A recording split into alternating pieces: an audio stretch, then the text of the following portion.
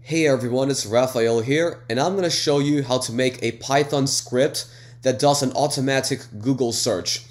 So for this video, I'm going to be simply using idle to make this, but if you want to use any other IDE or program like let's say PyCharm, or there's another one called Visual Studio Code, you can also use that as well, whichever one you prefer, as long as you can get the Python script working, it doesn't really matter.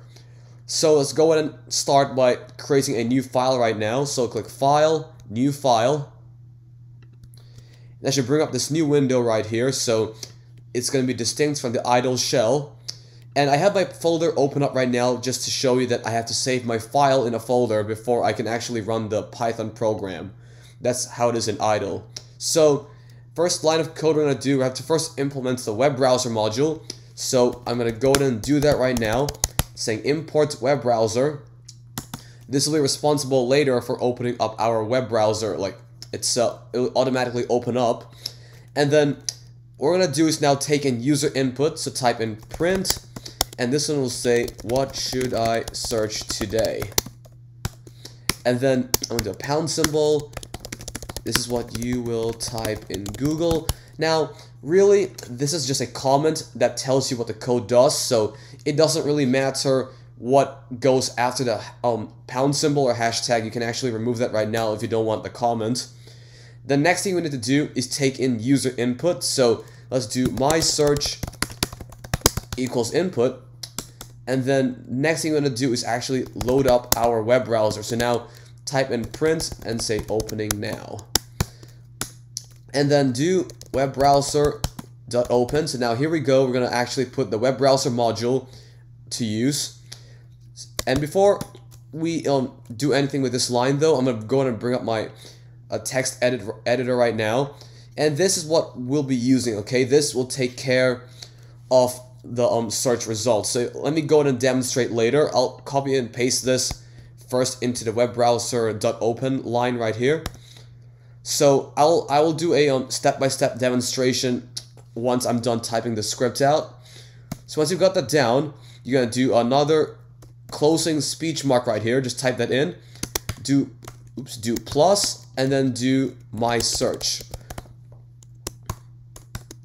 And they're gonna end that with a closing parenthesis. So this right over here should match whatever you called this right over here, which will take in the user input. So now that we've got that down, we can actually go ahead and save the file. So do File, Save.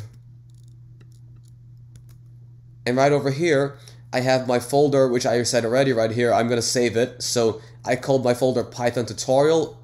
So let's go ahead and save the file as uh, Google search.py. And then click Save. Or whatever you want to call it, really. Then click Save. To run and run module or simply press F5 to run the program. So now I should say, what should I search today? I'm going to simply type in, let's see, you can type in a whole bunch of things. I'll do Stranger Things, Season 4, release date. I know it was released a few days ago, but I'm going to use this as an example. And now you can see that it automatically loads up the search um, result. So in my case, I simply put opening now, and I, also, I searched up the release date for Stranger Things. So let's go ahead and do this step by step. Um, I'm going to explain the code right now. So first thing we're going to do is first import the webbrowser module so that we can call it later in the program.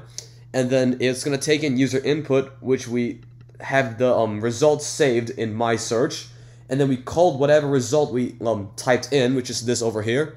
That is whatever was saved in my search. We um, basically what we did was if I bring up my text editor again, what we did was this. I'm going to go ahead and copy paste that. And the result would have been like this. So my search.